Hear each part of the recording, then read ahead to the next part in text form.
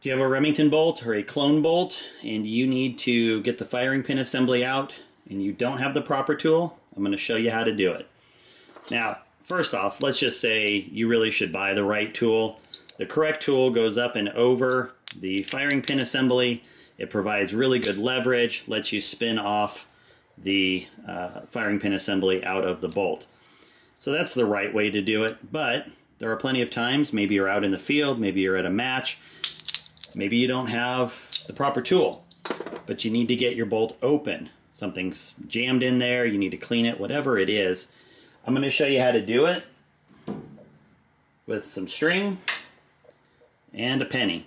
Now, I like using a penny, although you can use, honestly, anything. You just need a shim uh, to go into what I'm going to show you. Uh, but I just find a penny works the best. Uh, it has the kind of the biggest diameter for the um, thinnest uh, bill, you know, thinnest piece here compared to like a nickel or something that's thicker.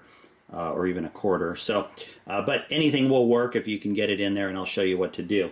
So what we're really trying to do is we're trying to cock the gun. And in order to do that, we need something, which I happen to use surveyor string. I really like this because it has no stretch and it's a really small diameter. And what we're going to be doing is we're going to be hooking the string right over this and pulling. Okay, so see how that is? And while you can use a shoelace, and I've certainly seen it done, i am trying to think if I ever did in the beginning. I think I've always used this string, but uh, you can use a shoelace. But the smaller it is, the easier it is to hook over this and keep it hooked. Uh, the bigger the string or shoelace is, the more chance it'll pop off while you're trying to pull. So first thing we need to do is find an anchor point. Now, I know people who have used trailer hitches. I've used my foot before. Um, anything you can pull hard on. I happen to be using my press handle here. And um, and you can see if I angle up just a little bit, you'll see it's on my, my handle there. So let's come over here now. Okay.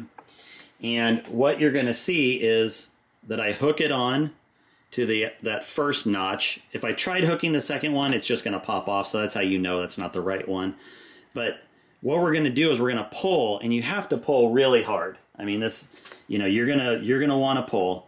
And what happens is there's now a gap down here where you can stick the penny. So the penny is now in here. You can see there's a gap that created when the firing pin assembly pulled back.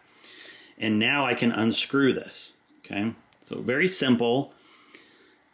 And now I can get into my bolt. I can clean, I can do whatever I need to. Now, just a word of advice if this penny pops out, that firing pin is going to go back in, and it's going to be really tough to to pull on that shoelace again.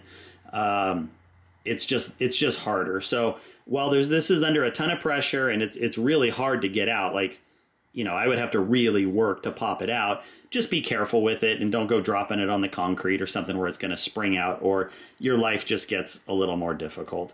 Um, if it does fall out and you happen to have the right tool eventually, it's super easy to put it back together. But uh, all I need to do now is do whatever I need to do, clean the gun, get whatever debris is out, dry it off if it fell in water, whatever it is. And now I simply screw it back. I'm going to line up my firing pin part here where it needs to be. I'm going to grab my string again. We are just taking the pressure off so I can remove the um, so I can remove the penny and now it slides right back into position and I am good to go. So it's that simple. It's a great trick. Uh, it doesn't take up any space in a, a, hiking bag, hunting bag, range bag, whatever it is to keep a penny and a little bit of string.